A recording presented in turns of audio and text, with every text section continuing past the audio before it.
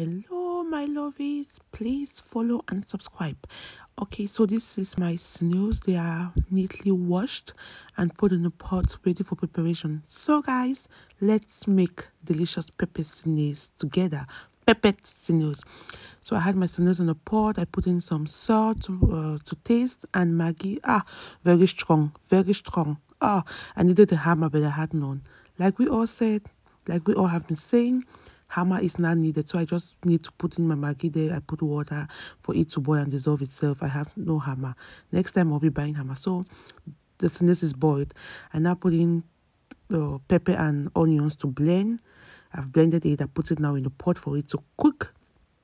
And I forgot paprika. Just opening my freezer, my fridge, and I saw this paprika. Paprika is needed, so I'm not blending the paprika. Look at it; it's blending so nicely. It's blending, crushing. My blender is crushing it.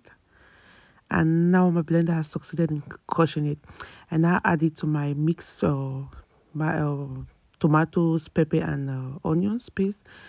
Let it boil, let it cook. I stir it up, stir it up. Covered it, checked it again to, to make sure it has the right paste because I wanted it to be really thick. Now I'm adding my snails in it. Adding my snails so well, mixing it, mixing it mix it again mix it up so the paste goes around. It is well mixed. I covered it and i'm checking if it is well cooked again. Yeah. You cover it to see well cooked again and that you have the right consistency of paste you want. If you want to watch if you want to thick. Now i'm adding white pepper poivre blanc for the francophones. I'm mixing it. The white pepper gives it a very nice flavor. Try this. A very nice flavor. You will love it. Adding onions and now I'm adding vegetable cooking oil. I don't need so much oil so I'm just adding a little bit of the cooking oil.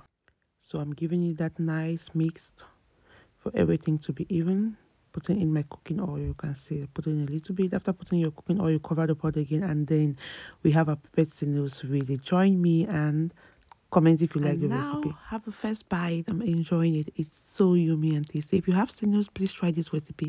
And if you have any question in regards to the recipe, please, please, please don't hesitate to comment below in the comment section and I will answer all your questions.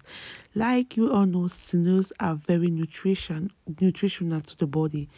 Buy some snails and try this. Bye.